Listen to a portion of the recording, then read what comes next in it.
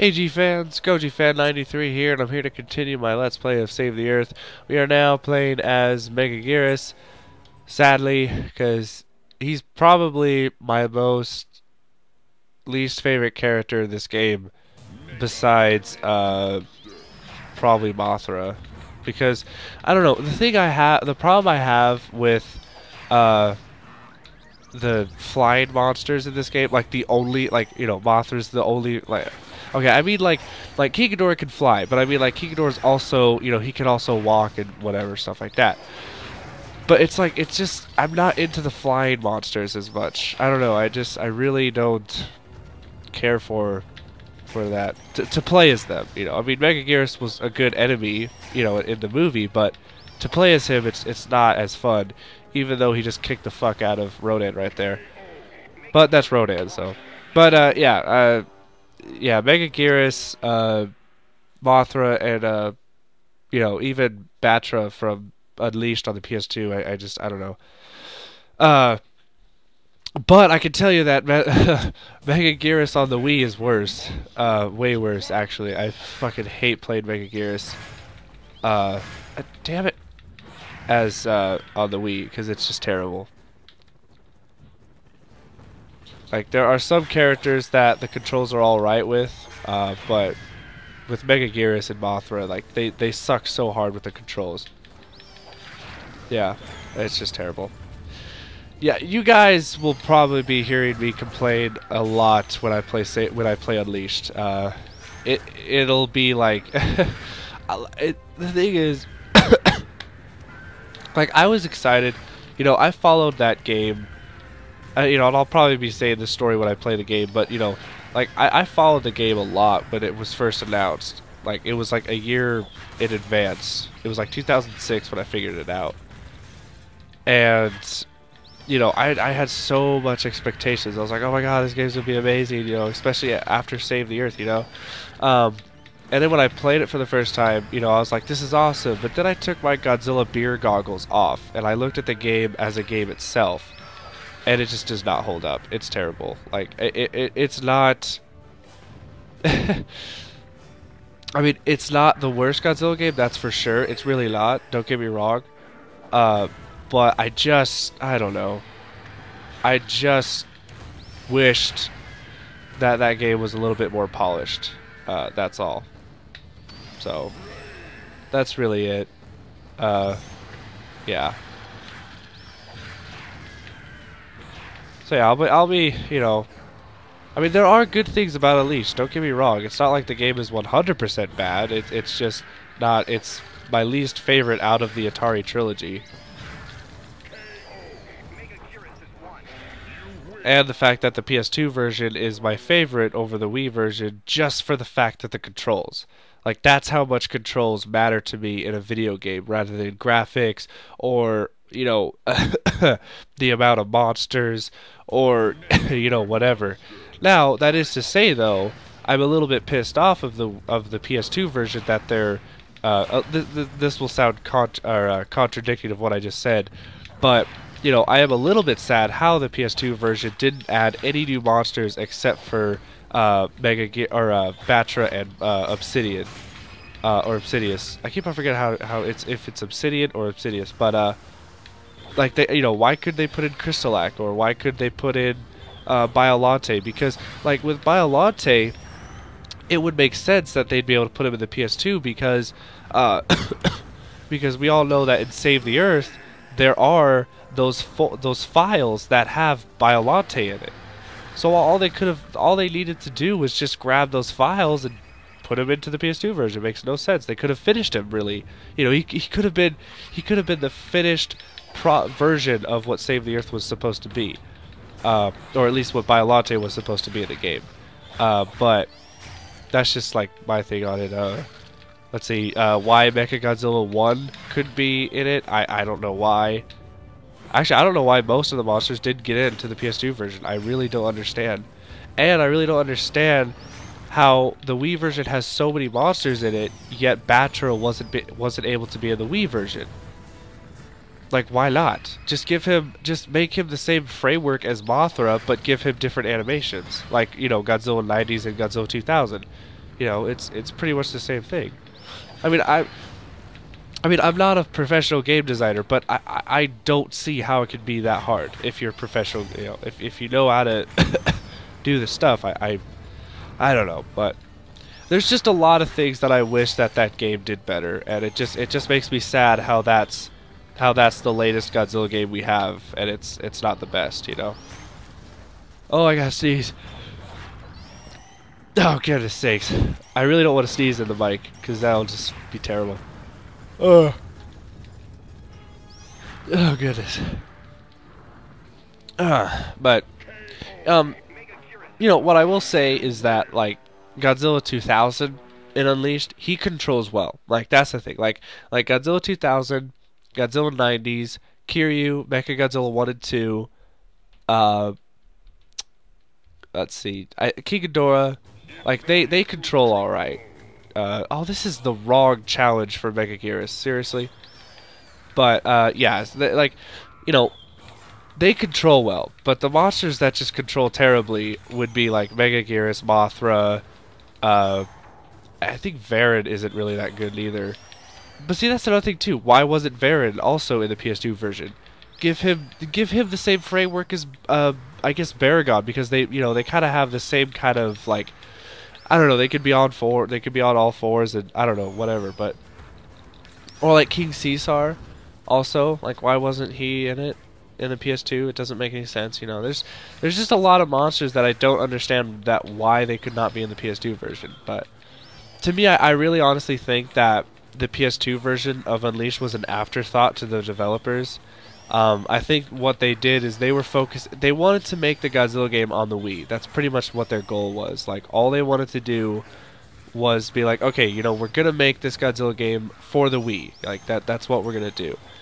And I don't know, someone decided, you know, okay, well, you know, what about the people who played Save the Earth on PS2? Like, what are we to do about the PS2 people?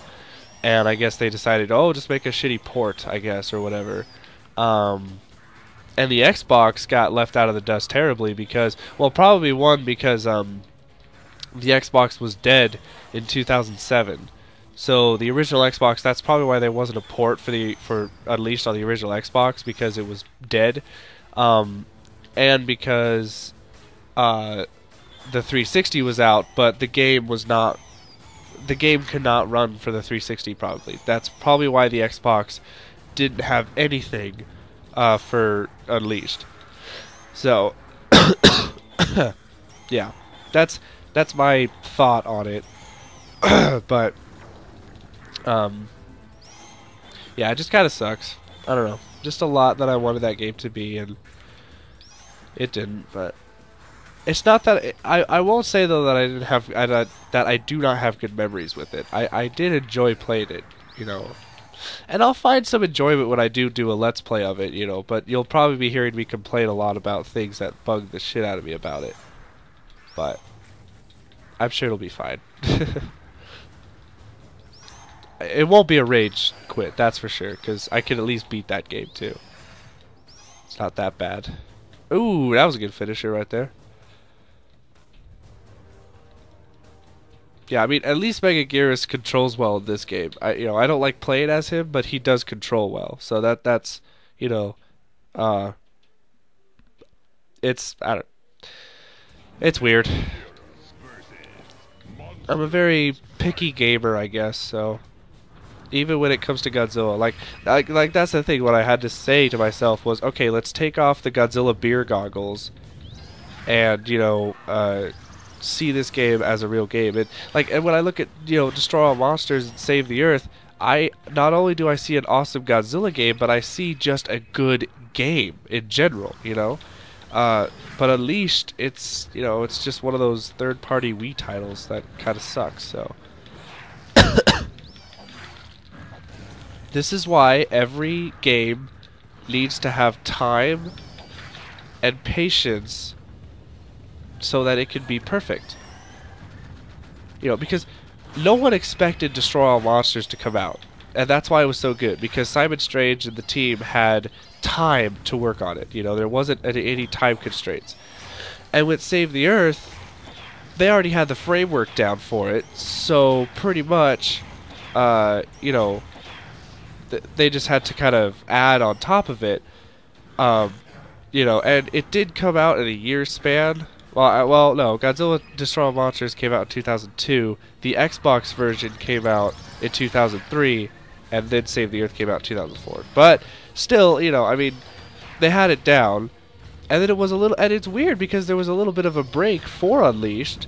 Yet what we got seemed like a very rushed out version, which it was rushed. But I'm not blaming Simon Strange or you know or the team behind it. I blame Atari because they're the publishers, and it's always the publishers that rush games out. They're the ones who go to the studio, the developers, the ones who are actually making the game, and they go to them and say, "Hey, you guys have to finish this game like right away. Like you got to get it done."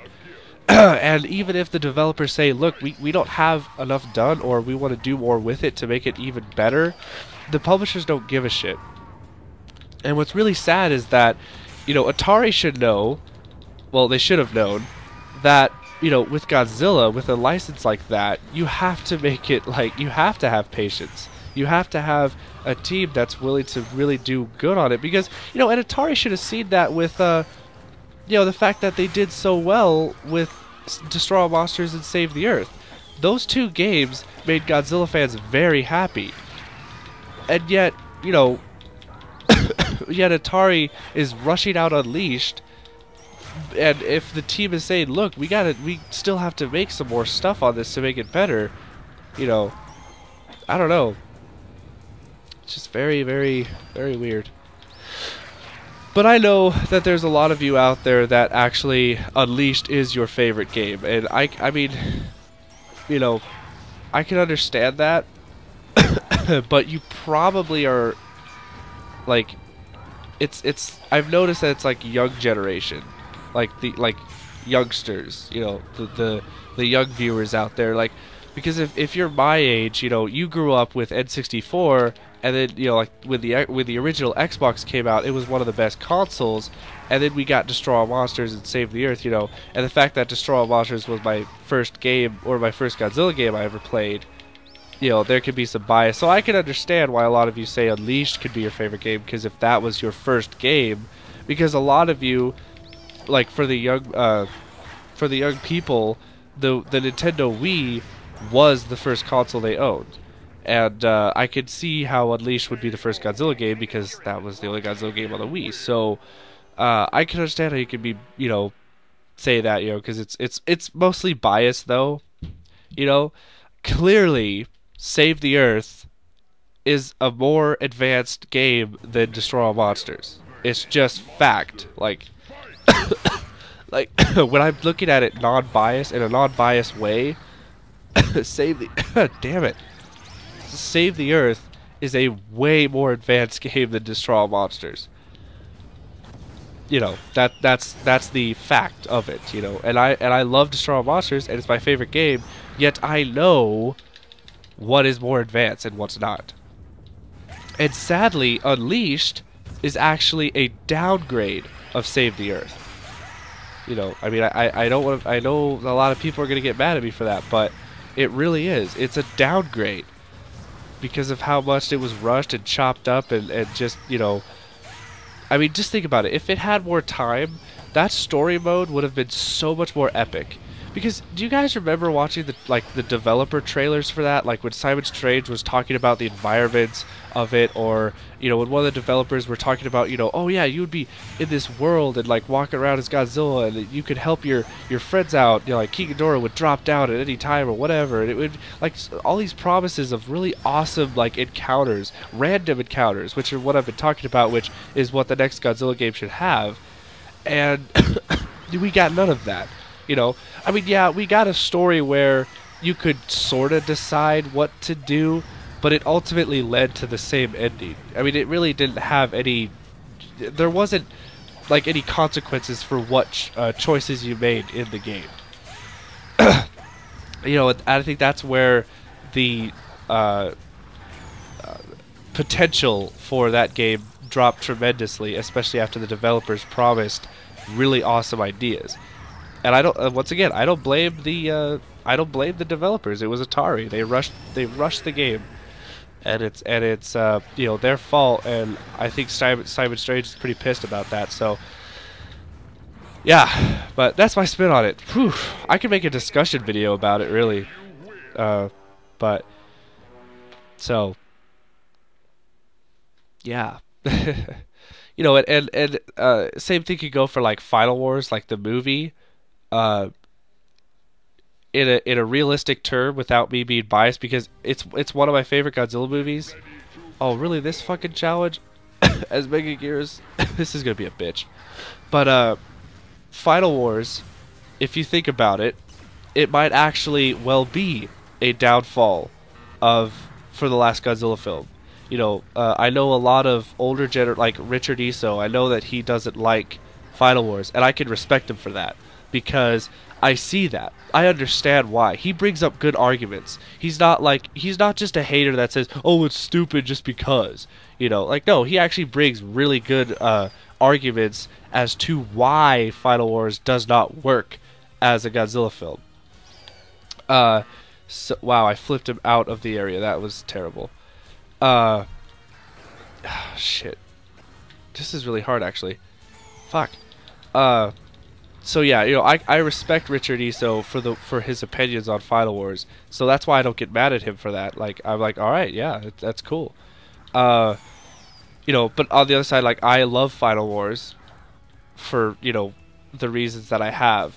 Uh, oh, please make it, please make it, please make it, please make it. Yes, I actually made it. Wow. but so yeah, but uh, but with Final Wars, when I look at it as a from a non-biased standpoint, I definitely see how it fails miserably as a Godzilla film. I I can see I see it, and I love the film but I'm not blind. I can I see it. Like I know like yes, I I understand how it could how it fails actually.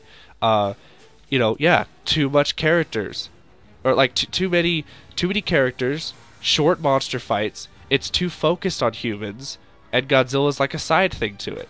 I I see that. I totally get it.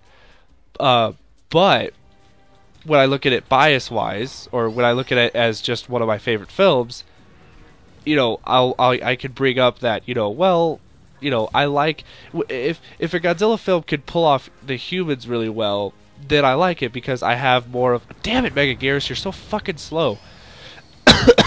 I'm trying to grab Mecha Godzilla here, but it's like not working because Megaguirus, he drops them so quickly. All right, I'll just grab him in here, maybe. Shit. God, he's not making this easy. Anyways, uh, so yeah, I can look at it from that, you know, but uh, it's it, it's all about understanding, like you know, yes, if you yes you like it, but understand its weakness, like understand why it it actually doesn't do well. Is it over here? Where's the island? Oh, it's over there. Okay. So, you know, uh, it's it's like if uh, Call of Duty fans, okay, Call of Duty's been getting a lot of hate lately because well, it's pretty much the same fucking game every year. But yet there's still a huge fan base for that. And the thing is, is I'm not gonna get mad. Well, I'm not gonna hate someone. I'm not gonna wish they were gonna that they die. Where are you going, Gigan? Seriously?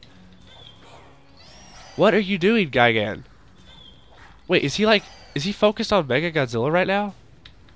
What are you doing? I need you to go follow me. Alright, I'm sorry. I lost my train of thought because... Because... Gigan's being stupid. What are you doing? Gigan, I'm over here. You go...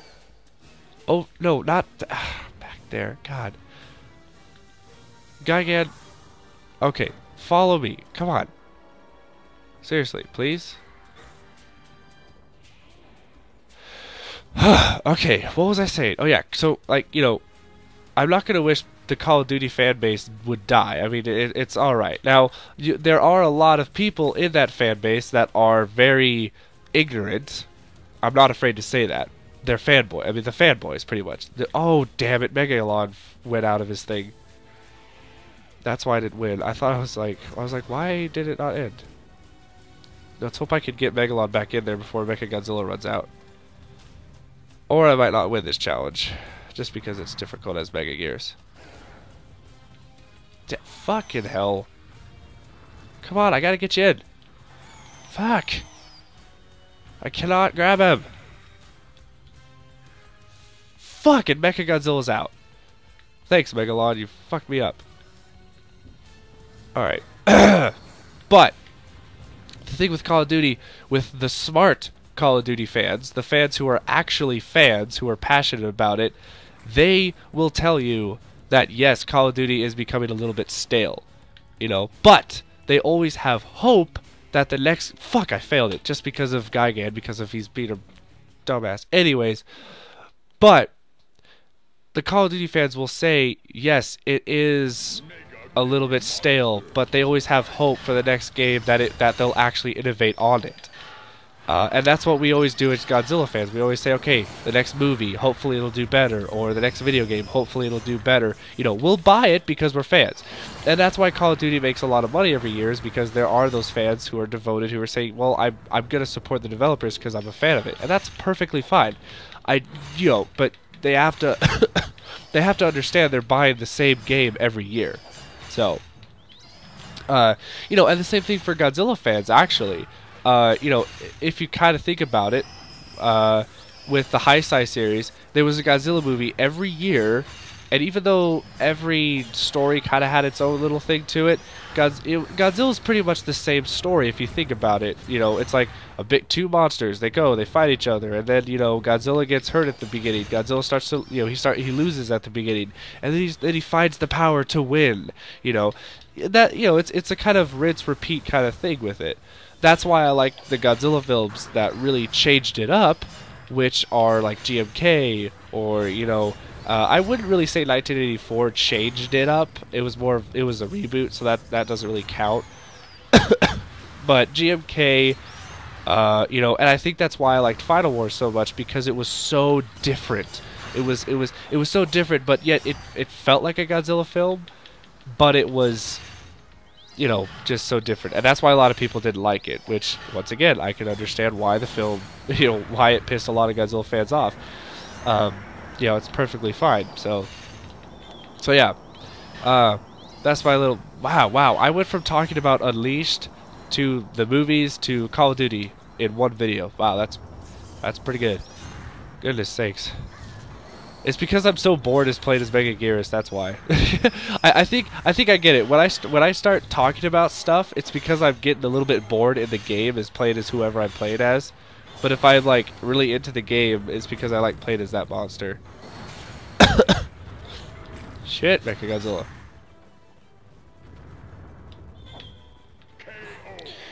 Oh, okay. Yeah, I'm okay. I'm done talking about that because I'm probably gonna get a lot of hate for what I just said anyway. So I just says it as I see it. so. And that guy who I was mentioning earlier, Richard Iso, go subscribe to him. He's amazing. He's a huge Godzilla collector. He has a huge collection. He's like I, he's like the, I guess I would say like professional collector because he just he has so many figures. So, he's really cool. And, uh, uh, actually, another thing I would say, sadly, I was watching a live stream of him one time, and uh, sadly, he doesn't like Bandai Creation figures because to him they're not real Godzilla figures. Kind of makes me a little bit sad, you know, because it's like I consider my collection of Bandai Creation very collectible and, and highly, you know, I, I highly uh, have uh, I have pride in that having those figures. Uh, but he's he's very you know it has to be from Japan. Like you have to get the figure from Japan. I can I can understand that once again, but you know, still, uh, to me, any Godzilla figure, like any Godzilla piece of merchandise, is a collectible to me. Like if there's a Godzilla keychain or like uh, even a freaking Godzilla toothbrush, all right, I will want it and I will say like, yeah, that's part of my collection anything that says Godzilla. And I'm not afraid to say anything that's Zilla. Godzilla 1980, uh, 1980 or 1998. I'm not afraid to say that yes, I have a couple items that were from that, you know, from that movie, and if I saw a, a Zilla figure on sale, yeah, I would get it. And I would put it as part of my Godzilla collection. Because you can't say that, oh, well, it's not Godzilla, so therefore you can't put it. Well, Mothra's not Godzilla, but I have Mothra in my collection. Pacific Rim's not Godzilla, but I have Pacific Rim in my collection. Anything that's kaiju, really. like, it's actually, I owe it all to you guys because, you know, you guys have shown me a lot of different kaiju stuff, and, uh, I've now turned my Godzilla collection more into a Japanese kaiju genre collection. It's it's it is it's obviously majority Godzilla wise because that that will always be my my favorite. But you know I am expanding it and, and making it better. So yay, we're done with Megaguirus. Oh god, this is a very wordy episode. I'm sorry about that, guys, but I know some of you like me talking about stuff like that. All right, let's unlock a new block. And hey, that rhymed. Let's unlock a new block. Ha ha ha. Okay. Alright. Here we go. Boom! Oh, so we won't be played as Orgolex because we will uh, keep him for uh, the last episode.